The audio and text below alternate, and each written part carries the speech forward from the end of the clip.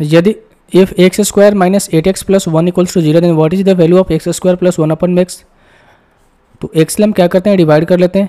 दोनों साइड अगर मैं एक्स ले डिवाइड करूँगा तो हो जाएगा एक्स माइनस का एट प्लस वन अपन में x equals to zero x plus one upon में एक्स ये एट इधर आ जाएगा तो कितना हो जाएगा? आपका प्लस में एट हो जाएगा। अब एक्स स्क्वायर आसानी से निकाल सकते हैं। क्या हो जाएगा? आठ के स्क्वायर यानी कि चौंसठ माइनस का टू यानी कितना हो जाएगा आपका बासठ। Option number four